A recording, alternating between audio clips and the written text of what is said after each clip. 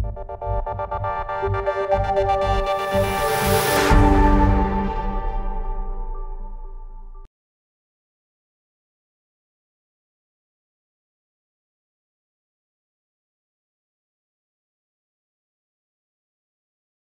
my name is Vinay Simha. I'm an endocrinologist at the Mayo Clinic, Rochester, USA.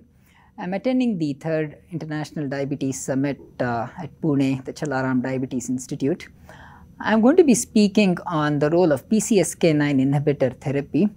There is this new class of lipid lowering medications, which are basically monoclonal antibodies to PCSK9. Uh, PCSK9 is a serine protease. It has a very critical role in regulation of LDL cholesterol. Primarily what it does is it marks out the LDL receptor for lysosomal degradation. So in short, it is something that ends up chewing up the LDL receptor. So if you can block the PCSK9, then you end up with increased expression of LDL receptors on the cell surface membrane of the hepatocytes. This helps lower LDL cholesterol. Uh, much of this was uh, detected in epidemiological studies where patients who have uh, certain variations in PCSK9 that inactivate this protein end up with low cholesterol and very low cardiovascular risk. This has led to the development of these therapeutic options, primarily in the form of monoclonal antibodies to PCSK9. We have come quite a long way in the last decade or so. So, we now have two such preparations, monoclonal antibodies. One is called alirocumab and the other is evolocumab.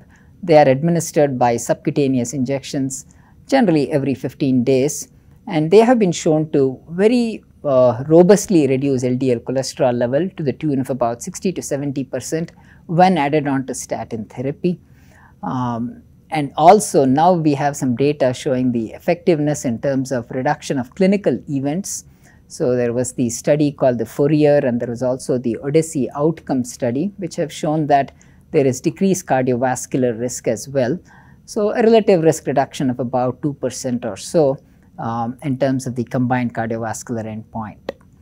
What is also to be noted is it seems to be doing all this with seemingly minimal side effects as far as we know now. Of course, we still need data in terms of long-term outcomes, but the initial concerns about the uh, there was some concern about whether the medication increases neuropsychiatric effects, memory and cognitive issues, but a sub-study of the Fourier trial, to some extent it has dispelled these doubts. So in summary, we have this new class of medications which very robustly reduces LDL cholesterol level, has shown promise to reduce cardiovascular risk, and is seemingly safe in that it does not seem to increase the risk for uh, liver or muscle adverse effects, no increased risk of new onset diabetes, and no issues with neurocognitive um, issues either. Um, again, these are early days and uh, we need more long-term studies and post-marketing experience to know about how effective and safe they are. The other big issue with this class of medications is the cost and uh, there's a lot of analysis going on about the effectiveness, uh, the cost effectiveness of this group of medications. It's quite expensive as of now and uh, we will have to see in terms of uh, uh, what is the benefits it represents to society as a whole in terms of uh, uh, the cost effectiveness.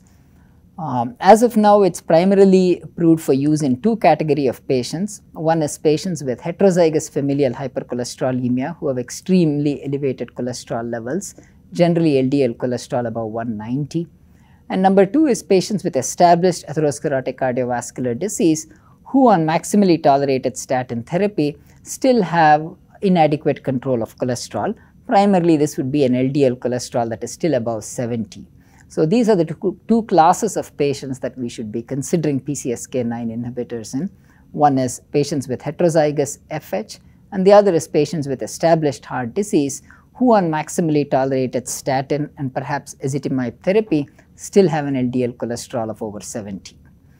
Um, so we have uh, other new developments going on in this field. So there is an antisense oligonucleotide that is being developed, in inclisiran, and this is the potential of being administered every six months or so.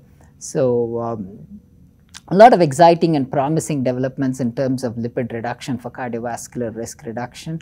And uh, PCSK9 inhibitors are at the forefront of this. In summary, PCSK9 inhibitors are a new class of medications. They have shown a lot of promise. They appear to be safe and effective, but we will have to wait for future long-term and post-marketing studies to see how well they play out in the clinical scenario. Um, I'm excited about it, but have a, but I'm closely watching for potential adverse effects in the long run and also its actual safety and efficacy. Um, thank you.